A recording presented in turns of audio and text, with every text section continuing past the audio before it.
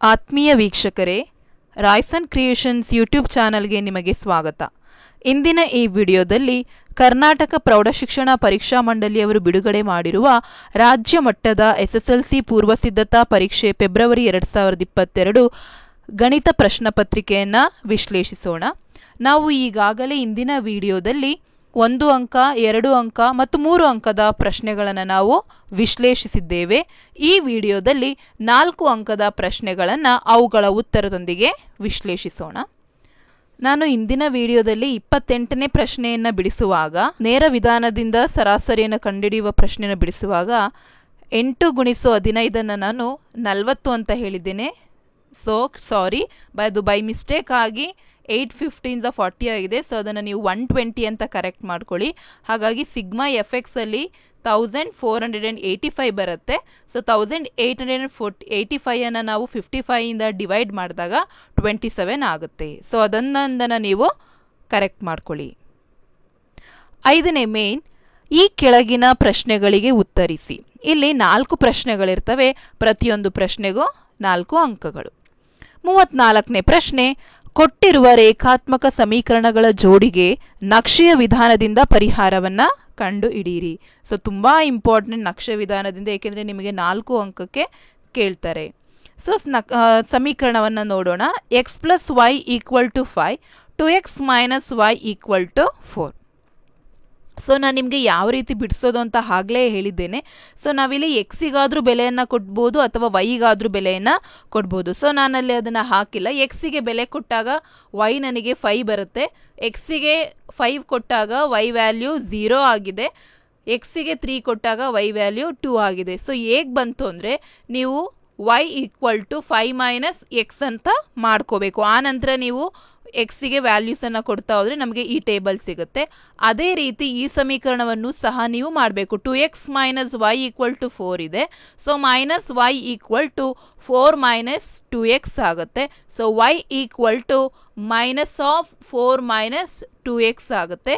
ನಾವು ಬೆಲೆಯನ್ನು ನಾವು ಎಕ್ಸಿಗೆ ಬೆಲೆಯನ್ನು ಕೊಡ್ತಾ ಹೋದಾಗ ಎಕ್ಸಿಗೆ ಝೀರೋವನ್ನು ಕೊಟ್ಟಾಗ ನನಗೆ ವೈ ಬೆಲೆ ಮೈನಸ್ ಫೋರ್ ಆಗಿದೆ. ಎಕ್ಸಿಗೆ ಟೂ ಕೊಟ್ಟಾಗ ಝೀರೋ ಆಗಿದೆ. ಎಕ್ಸಿಗೆ ತ್ರೀ ಬೆಲೆಯನ್ನು ಕೊಟ್ಟಾಗ ಟೂ ಆಗಿದೆ. ಸೊ ಈಗ ನನಗೆ ಎಕ್ಸ್ ವ್ಯಾಲ್ಯೂ ವೈ ವ್ಯಾಲ್ಯೂ ಎರಡೂ ಸಮೀಕರಣಕ್ಕೂ ಗೊತ್ತಾಗಿದೆ. ಅದನ್ನು ನಾನು ನಕ್ಷೆಯಲ್ಲಿ ತೋರಿಸ್ಬೇಕು. ಸೊ ಇದು ವೈ ಆಕ್ಸಿಸ್ ಇದು ಎಕ್ಸ್ ಆಕ್ಸಿಸ್ ಸೊ ಮೊದಲನೇ ಸಮೀಕರಣ zero comma five so zero comma five ಅಂದರೆ ಇದು ಝೀರೋ ಕಾಮ ಫೈ ಆಗುತ್ತೆ. ನೆಕ್ಸ್ಟು ಫೈಯಲ್ಲಿ ಝೀರೋ ಅಂದರೆ ಇದು ಫೈಯಲ್ಲಿ ಝೀರೋ ಆಗುತ್ತೆ. ತ್ರೀಯಲ್ಲಿ ಟೂ ಅಂದರೆ ಇದು ಟೂ. ಸೊ ಈಗ ಮೂರು ಪಾಯಿಂಟ್ಸ್ ಸಿಕ್ಕಿದೆ ನನಗೆ ಒಂದು ಲೈನನ್ನು ಹಾಕೋಣ. ಅದೇ ರೀತಿ ಇನ್ನೊಂದು ಸಮೀಕರಣ two X minus Y equal to ಫೋರ್ದ ಬೆಲೆಯನ್ನು ನಾನಲ್ಲಿ ಹಾಕ್ತೀನಿ. ಸೊ ಎಕ್ಸ್ ಝೀರೋ ಆದಾಗ ವೈ ಬೆಲೆ ಮೈನಸ್ ಫೋರ್ ಆಗಿದೆ. ಸೊ ಅದನ್ನು ಮಾರ್ಕ್ ಮಾಡಿ. Next X equal to two ಆದಾಗ ವೈ ಬೆಲೆ ಝೀರೋ ಆಗಿದೆ. ಸೊ ಅದನ್ನು ಸಹ ನೀವು ಮಾರ್ಕ್ ಮಾಡಿ. ಎಕ್ಸ್ ಈಕ್ವಲ್ ಟು ತ್ರೀ ಆದಾಗ ವೈ ಬೆಲೆ ಟೂ ಆಗಿದೆ. ಸೊ ಅದನ್ನು ಮಾರ್ಕ್ ಮಾಡಿ. ಸೊ ಎಲ್ಲವನ್ನ ನೀವು ಮಾರ್ಕ್ ಮಾಡಿ ಲೈನನ್ನು ಜಾಯಿನ್ ಮಾಡಿದಾಗ ನಮಗೆ ತ್ರೀ ಕಾಮ ಟೂ ಅಲ್ಲಿ ಈ ಎರಡೂ ರೇಖೆಗಳು ಛೇದಿಸ್ತವೆ. ಸೊ ಇದನ್ನು ನಾವು ನಕ್ಷೆಯಲ್ಲಿ ಬಿಡಿಸಿದ್ರೆ ನಾಲ್ಕು ಅಂಕ ಸಿಗುತ್ತೆ. ಮೂವತ್ತೈದನೇ ಪ್ರಶ್ನೆ ಒಂದು ಎಕ್ಸ್ಪ್ರೆಸ್ ರೈಲು ಎ ಮತ್ತು ಬಿ ಎರಡೂ ಪಟ್ಟಣಗಳ ನಡುವಿನ ನೂರ ಮೂವತ್ತೆರಡು ಕಿಲೋಮೀಟರ್ ದೂರವನ್ನು ಕ್ರಮಿಸಲು ಪ್ಯಾಸೆಂಜರ್ ರೈಲಿಗಿಂತ ಒಂದು ಗಂಟೆ ಕಡಿಮೆ ಸಮಯವನ್ನು ತೆಗೆದುಕೊಳ್ಳುತ್ತದೆ. ಎಕ್ಸ್ಪ್ರೆಸ್ ರೈಲಿನ ಸರಾಸರಿ ಜವವು ಪ್ಯಾಸೆಂಜರ್ ರೈಲಿನ ಸರಾಸರಿ ಜವಕ್ಕಿಂತ ಹನ್ನೊಂದು ಕಿಲೋಮೀಟರ್ ಪರ್ ಅವರ್ ಹೆಚ್ಚಾಗಿದ್ದರೆ ಆ ಎರಡೂ ರೈಲುಗಳ ಸರಾಸರಿ ಜವವನ್ನು ಕಂಡುಹಿಡಿಯಿರಿ. ಸೊ, ಮೊದಲಿಗೆ ನಾವು ಅರ್ಥ ಮಾಡ್ಕೊಳ್ಳಿ, ಒಂದು ಪ್ಯಾಸೆಂಜರ್ ರೈಲು ಎ ಮತ್ತು ಬಿಗಳ ನಡುವೆ ಎಷ್ಟು ದೂರ ಇದೆ? ನೂರ ಮೂವತ್ತೆರಡು ಕಿಲೋಮೀಟರ್ ದೂರವನ್ನು ಕ್ರಮಿಸಲು. ಪ್ಯಾಸೆಂಜರ್ ರೈಲಿಗಿಂತ ಒಂದು ಗಂಟೆ ಕಡಿಮೆಯನ್ನು ಎಕ್ಸ್ಪ್ರೆಸ್ ರೈಲ್ ತಗೊಳ್ತಾ ಇದೆ. ಹಾಗಾಗಿ ನನಗೆ ಪ್ಯಾಸೆಂಜರ್ ರೈಲಿನ ಜವ ನನಗೆ ಗೊತ್ತಿಲ್ಲ. ಸೊ, ಅದನ್ನು ನೀವು ಪ್ಯಾಸೆಂಜರ್ ರೈಲಿನ ಜವ ಎಕ್ಸ್ ಕಿಲೋಮೀಟರ್ ಆಗಿರಲಿ ಅಂತ ಹೇಳಿ ತಗೊಳ್ಳಿ.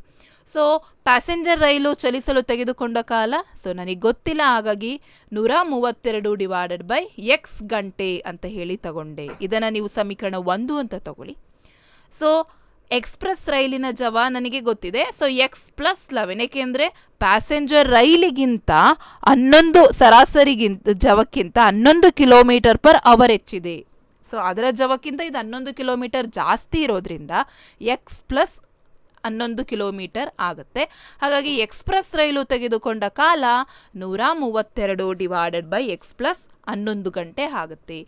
ಸೊ, ಈಗ ನನಗೆ ಸಮೀಕರಣ ಒಂದು ಮತ್ತು ಎರಡು ಸಿಕ್ತು. ಹಾಗಾಗಿ ನೂರ ಮೂವತ್ತೆರಡು ಬೈ ಎಕ್ಸ್ ಮೈನಸ್ ನೂರ ಮೂವತ್ತೆರಡು ಡಿವೈಡೆಡ್ ಬೈ ಎಕ್ಸ್ ಪ್ಲಸ್ ಹನ್ನೊಂದು ಈಕ್ವಲ್ ಟು ಒಂದು ಗಂಟೆ.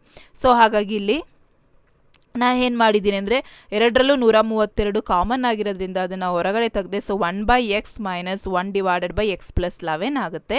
So equal to one so ಇಲ್ಲಿ ಒನ್ ತರ್ಟಿ ಟು ಮಲ್ಟಿಪ್ಲೈ ಆಗಿದೆ. ನಾವು ರೈಟ್ ಸೈಡಿಗೆ ಅಥವಾ ಲೆಫ್ಟ್ ಸೈಡಿಗೆ ಬಲಗಡೆಗೆ ಅಥವಾ ಎಡಗಡೆಗೆ ತೆಗೆದಾಗ ಅದು ಭಾಗಿಸಲ್ಪಡುತ್ತೆ. ಹಾಗಾಗಿ ಉಳಿಯುವಂಥದ್ದು one by x minus one by x plus eleven equal to one by one thirty two so ಇಲ್ಲಿ ನಾನು ಎಲ್ ಸಿ ಎಂ ಅನ್ನು ತಗೊಂಡಾಗ ಎಲ್ ಸಿ ಎಂ ನನಗೆ x into x plus eleven ಆಗುತ್ತೆ. ಹಾಗಾಗಿ x plus eleven minus x equal to one by thirty two minus x minus plus x cancel ಆಗುತ್ತೆ. So ಉಳಿಯೋಂಥದ್ದು eleven divided by x square plus eleven x equal to one by thirty one hundred and thirty two so ನಾನೀಗ ಒರೆ ಗುಣಾಕಾರವನ್ನು ಮಾಡಿದಾಗ x square plus eleven x equal to one thirty two into eleven ಆಗುತ್ತೆ. So ಈಗ ನಾನು one thirty two into ಲೆವೆನನ್ನು multiply ಮಾಡಿದ್ರೆ ನನಗೆ ಸಿಗುವಂಥದ್ದು one thousand four hundred and fifty two ಸಾವಿರದ ನಾನ್ನೂರ ಐವತ್ತೆರಡು ಹಾಗಾಗಿ x square plus eleven x equal to thousand four hundred and fifty two so ಈ ಕಡೆ ತಗೊಂಡಾಗ ಮೈನಸ್ ಆಗುತ್ತೆ. ಸೊ ಈಗ ನಾನು ಅಪವರ್ತನ ವಿಧಾನದಿಂದ ಈ ಒಂದು ಸಮೀಕರಣವನ್ನು ಬಿಡಿಸಬೇಕಾಗುತ್ತೆ. ಹಾಗಾಗಿ x square plus one four thousand four fifty ಟೂನ ಗುಣಿಸಿದರೆ ನನಗೆ ಅಷ್ಟೇ ಬರಬೇಕು. ಕೂಡಿಸಿದ್ರೆ ಹನ್ನೊಂದು ಬರಬೇಕು. ಆ ರೀತಿ ಎರಡು ಸಂಖ್ಯೆನ ತಗೋಬೇಕು. ಹಾಗಾಗಿ ನಾನಿಲ್ಲಿ ನಲ್ವತ್ನಾಲ್ಕು ಮತ್ತು ಮೂವತ್ತ್ಮೂರನ್ನು ತಗೊಂಡೆ. ಸೊ ನಲ್ವತ್ನಾಲ್ಕರಿಂದ ಮೂವತ್ತ್ಮೂರನ್ನು ಕಳೆದ್ರೆ ನನಗೆ ಹನ್ನೊಂದು ಬರ್ತದೆ. So x square plus forty four x minus thirty three x plus hundred and thousand four hundred and fifty two so ಇಲ್ಲಿ ಎಕ್ಸ್ ಕಾಮನ್ ಇದೆ. ಇಲ್ಲಿ ತಟ್ ಕಾಮನ್ ತೆಗೆದಾಗ ಎಕ್ಸ್ ಪ್ಲಸ್ ಫಾರ್ಟಿ ಫೋರ್ ಆಗುತ್ತೆ. ಇಲ್ಲಿ ತರ್ಟಿ ತ್ರೀ ಕಾಮನ್ ಇರೋದ್ರಿಂದ X plus forty four ಆಗುತ್ತೆ. So x plus forty four equal to zero x plus x minus three thirty three equal to zero so x equal to minus forty four and x equal to plus thirty three so ಹಾಗಾಗಿ ನಾವು ಯಾವಾಗಲೂ ಧನಾತ್ಮಕವಾಗಿ ತಗೊಳ್ಳೋದ್ರಿಂದ ಆ ರೈಲಿನ ಜವ ಎಷ್ಟಾಗಿರುತ್ತೆ? ಮೂವತ್ತ್ಮೂರು ಹೆಚ್ಚಾಗಿರುತ್ತೆ. So ಇದು ಸರಿಯಾದ ಉತ್ತರ. ಸೊ ಈ ಪ್ರಶ್ನೆಯಲ್ಲಿ ನಮಗೆ ಆಪ್ಷನನ್ನು ಕೊಟ್ಟಿದ್ದಾರೆ. ಯಾವುದು ಇನ್ನೊಂದು ಪ್ರಶ್ನೆ? ಕೆಳಗಿನ ಸಮೀಕರಣದ ಮೂಲಗಳನ್ನು ಕಂಡು ಹಿಡಿಯಿರಿ ಸೊ ನಮಗೆ ಸಮೀಕರಣ ಕೊಟ್ಟಿದ್ದಾರೆ. One by x plus four minus one by x minus seven equal to eleven divided by thirty x not equal to minus four and x not equal to seven so x minus four ಆಗಿರೋ ಆಗ, ಆಗಿರಲ್ಲ x seven ಆಗಿರಲ್ಲ. So ಇಲ್ಲಿ ನಾನು L C M ಅನ್ನು ತಗೊಂಡಿದ್ದೀನಿ. So L C M ತಗೊಂಡ್ರೆ x plus four into x minus four ಆಗುತ್ತೆ. ಸೊ ಇಲ್ಲಿ x minus seven into minus of x plus four equal to eleven by thirty so ಇಲ್ಲಿ ನಾನು X minus seven ಇಲ್ಲಿ ಮೈನಸಿಂದ ಎಲ್ಲವನ್ನ ಗುಣಿಸಿದಾಗ x minus seven minus x minus four ಆಗುತ್ತೆ. Divided by X square ಇಲ್ಲಿ ಗುಣಿಸಿದ್ದೀನಿ, ಹಾಗಾಗಿ x square plus four x minus seven x minus twenty eight equal to eleven divided by thirty ಆಗುತ್ತೆ. So minus eleven ಆಗುತ್ತೆ. ಯಾಕೆಂದರೆ X X cancel ಆಗುತ್ತೆ. ಇಲ್ಲೂ minus ಇಲ್ಲೂ ಮೈನಸ್ ಇರೋದ್ರಿಂದ ನಾವು ಕೂಡಿಸ್ಬೇಕಾಗುತ್ತೆ. ಹಾಗಾಗಿ minus eleven divided by x square minus three x minus twenty eight ಆಗುತ್ತೆ. Is equal to eleven divided by thirty so ಇಲ್ಲೂ ಲೆವೆನ್ ಇದೆ, ಇಲ್ಲೂ ಲೆವೆನ್ ಇದೆ. ಸೊ ಅಲ್ಲೇನಾಗಿದೆ? ಲೆವೆನ್ ಲೆವೆನ್ ನಾವು ಡಿವೈಡ್ ಮಾಡಿದಾಗ ಕ್ಯಾನ್ಸಲ್ ಆಗುತ್ತೆ. ಹಾಗಾಗಿ ಇಲ್ಲಿ ಮೈನಸ್ ಒನ್ ಉಳಿಯುತ್ತೆ, ಇಲ್ಲಿ ಒನ್ ಆಗುತ್ತೆ. So minus one divided by x square minus thirty minus twenty eight equal to one divided by thirty so x square minus three x minus twenty eight equal to minus thirty ಇಲ್ಲಿ ನಾನು ಓರೆ ಗುಣಾಕಾರವನ್ನು ಮಾಡಿದ್ದೇನೆ. So ಇಲ್ಲಿ ಮುಂದುವರೆದಂಥದ್ದು. X square minus three x minus twenty eight plus thirty equal to zero so twenty eight ಮತ್ತು plus thirty ಇದೆ. ಹಾಗಾಗಿ ನನಗೆ ಕೂಡಿಸ್, ಕಳೆದ್ರೆ ನನಗೆ ಪ್ಲಸ್ ಟೂ ಬರುತ್ತೆ. ಸೊ ಇಲ್ಲೂ ಸಹ ನಾನು ಅಪವರ್ತನ ವಿಧಾನದಿಂದ ನಾನು ಮಾಡ್ತಾ ಬಂದರೆ ನನಗೆ ಸಿಗುವಂಥದ್ದು x minus two into x minus one equal to zero so x equal to two ಆಗುತ್ತೆ. Y x equal to one ಆಗುತ್ತೆ. ಈ ರೀತಿ ನಾವು ಸಮೀಕರಣದ ಮೂಲವನ್ನು ಕಂಡುಹಿಡಿಯುವಂಥದ್ದು. ಮೂವತ್ತಾರನೇ ಪ್ರಶ್ನೆ. ನೆಲದ ಮೇಲೆ ಹತ್ತು ಅಡಿ ಎತ್ತರವಿರುವ ಒಂದು ಸಿಲಿಂಡರ್ ಆಕೃತಿಯ ಕಟ್ಟಡದ ಮೇಲೆ ಶಂಕುವಿನ ಆಕೃತಿಯ ಗೋಪುರವನ್ನು ಜೋಡಿಸಿ ಚಿತ್ರದಲ್ಲಿ ತೋರಿಸಿರುವಂತೆ ಒಂದು ಕಟ್ಟಡವನ್ನು ನಿರ್ಮಿಸಲಾಗಿದೆ.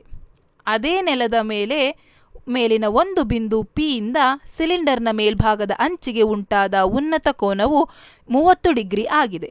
ಮತ್ತು ಇದೇ ಬಿಂದುವಿನಿಂದ ಗೋಪುರದ ಶೃಂಗಕ್ಕೆ ಉಂಟಾದ ಉನ್ನತ ಕೋನವು ನಲವತ್ತೈದು ಡಿಗ್ರಿ ಆಗಿದೆ. ಸಿಲಿಂಡರ್ನ ವೃತ್ತಪಾದದ ಹೊರವ್ಯಾಸವು ಒಂಬತ್ತು ಪಾಯಿಂಟ್ ನಾಲ್ಕು ಅಡಿ ಇದ್ದರೆ ಆ ಶಂಕುವಿನ ಆಕೃತಿಯ ಗೋಪುರದ ಎತ್ತರವನ್ನು ಕಂಡುಹಿಡಿಯಿರಿ. So root three equal to one by one point seven three ಅಂತ ಹೇಳಿ ತಗೋಬೇಕು. ನಮಗಲ್ಲಿ ಟ್ಯಾನ್ ತರ್ಟಿ ಡಿಗ್ರಿ ಬಂದಾಗ ರೂಟ್ ತ್ರೀ ಬರುತ್ತೆ. ಸೊ ನಾವು ಅಲ್ಲಿ ರೂಟ್ ತ್ರೀ ಬಂದಾಗ ಅದರ ಬೆಲೆಯನ್ನು ಒನ್ ಪಾಯಿಂಟ್ ಸೆವೆನ್ ತ್ರೀ ಅಂತ ಹೇಳಿ ತಗೋಬೇಕು. ಸೊ ಇಲ್ಲಿ ನಾವು ಚಿತ್ರವನ್ನು ನೋಡೋಣ. ಸೊ ಚಿತ್ರವನ್ನು ನೋಡಿದ್ರೆ ನಿಮಗೆ ಅರ್ಥ ಆಗುತ್ತೆ, ಒಂದು ಸಿಲಿಂಡರ್ ಇದೆ. ಸೊ ಆ ಸಿಲಿಂಡರಿನ ಪಾದದ ಪ, ಸಿಲಿಂಡರಿನ ಮೇಲೆ ಒಂದು ಶಂಕುವಿನ ಆಕೃತಿಯ ಗೋಪುರವನ್ನು ಕೂರಿಸಿದ್ದಾರೆ. ಸೊ ಇಲ್ಲಿ ನನಗೆ ಸಿಲಿಂಡರಿನ ಒಂದು ಉನ್ನತ ಕೋ ನನಗೆ ನೆಲದ ಭಾಗದಿಂದ ಸಿಲಿಂಡರ್ನ ಮೇಲೆ ನೋಡಿದಾಗ ಪಿ ಇಂದ ನಾನು ನೋಡಿದಾಗ ಮೂವತ್ತು ಡಿಗ್ರಿ ಉನ್ನತ ಕೋನ ಉಂಟಾಗ್ತಾ ಇದೆ. ಅದೇ ಬಿಂದುವಿನಿಂದ ಆ ಶೃಂಗದ ತುದಿಗೆ ನೋಡಿದಾಗ ನನಗೆ ನಲವತ್ತೈದು ಡಿಗ್ರಿ ಆಗ್ತಾ ಇದೆ. ಜೊತೆಗೆ ವೃತ್ತದ ವ್ಯಾಸವನ್ನು ಸಹ ಕೆಳ ಕೆಳಗಡಿನ ಸಿಲಿಂಡರಿನ ಪಾದದ ವ್ಯಾಸವನ್ನು ಕೊಟ್ಟಿದ್ದಾರೆ. ಒಂಬತ್ತು ಪಾಯಿಂಟ್ ನಾಲ್ಕು ಅಂತ ಹೇಳಿ ಕೊಟ್ಟಿದ್ದಾರೆ. ಮತ್ತೆ ಸಿಲಿಂಡರಿನ ಉದ್ದವನ್ನು ಕೊಟ್ಟಿದ್ದಾರೆ. ಹತ್ತು ಫೀಟ್ ಅಷ್ಟು ದೊಡ್ಡದಾಗಿದೆ. ಹಾಗಾಗಿ ಆ ಶಂಕುವಿನ ಆಕೃತಿಯ ಗೋಪುರದ ಎತ್ತರವನ್ನು ನಾನು ಕಂಡಿಡಿಬೇಕು.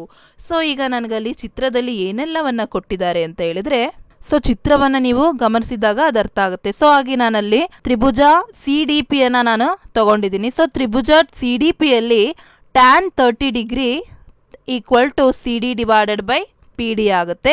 ಸೊ ಟ್ಯಾನ್ ತರ್ಟಿ ಅಂದರೆ one by root three so one by root three equal to C D ಅಂದರೆ ಎಷ್ಟು? ಸಿ ಡಿ ಅಂದರೆ ಆ ಸಿಲಿಂಡರಿನ ಉದ್ದವನ್ನು ಕೊಟ್ಟಿದ್ದಾರೆ. ಎಷ್ಟು? ಹತ್ತು. ಸೊ ಹಾಗಾಗಿ ಹತ್ತು divided by P D so P D is equal to ten into root three ಆಗುತ್ತೆ. ಸೊ ಟೆನ್ ರೂಟ್ ತ್ರೀ ಬೆಲೆನ ನಾವು ಒನ್ ಪಾಯಿಂಟ್ ಸೆವೆನ್ ತ್ರೀ ಅಂತ ತಗೋಬೇಕು. ಹಾಗಾಗಿ ten into one point seven three ಅಂದರೆ ಸೆವೆಂಟೀನ್ ಪಾಯಿಂಟ್ ತ್ರೀ ಆಗುತ್ತೆ. ಹಾಗಾಗಿ ನನಗೆ ಆ ಪಿ ಡಿಯ ಉದ್ದ ನನಗೆ ಗೊತ್ತಾಗುತ್ತೆ. ಸೊ ಈಗ ನನಗೆ B D equal to nine point four divided by two ಆಗುತ್ತೆ. ಇದು, that equal to four point seven. ಯಾಕೆ B D equal to nine point four by two ಮಾಡಿಕೊಂಡೆ ಅಂದರೆ, ಸೊ ವೃತ್ತಪಾದದ ವ್ಯಾಸ, ಪೂರ್ತಿ ವ್ಯಾಸ ನನಗೆ ಎಷ್ಟಿದೆ? ನೈನ್ ಪಾಯಿಂಟ್ ಫೋರ್ ಇದೆ. ನನಗೆ ಬೇಕಾಗಿರೋದು ಯಾವುದು? ಡಿ ಬಿ ಡಿ ಮಾತ್ರ. ಸೊ ತ್ರಿಜ್ಯ, ಅರ್ಧ ತ್ರಿಜ್ಯ ಮಾತ್ರ ಬೇಕಾಗಿರೋದ್ರಿಂದ, ಏಕೆಂದರೆ ವ್ಯಾಸ ಅಂದರೆ ಎರಡೂ ತ್ರಿಜ್ಯಗಳನ್ನು ಕೂಡಿಸಿದ್ರೆ ನನಗೆ ಒಂದು ವ್ಯಾಸ. ಸೊ ನನಗೆ ಬಿ ಡಿ ಮಾತ್ರ ಬೇಕಾಗಿರೋದ್ರಿಂದ ವ್ಯಾಸವನ್ನು ಡಿವೈಡ್ ಮಾಡ್ತೀನಿ. ಆಗ ಡಿವೈಡ್ ಮಾಡಿದಾಗ ಫೋರ್ ಪಾಯಿಂಟ್ ಸೆವೆನ್ ಸಿಗುತ್ತೆ.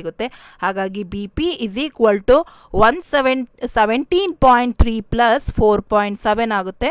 ಸೊ ಟ್ವೆಂಟಿ ಟೂ ಫೀಟ್ ಆಗುತ್ತೆ.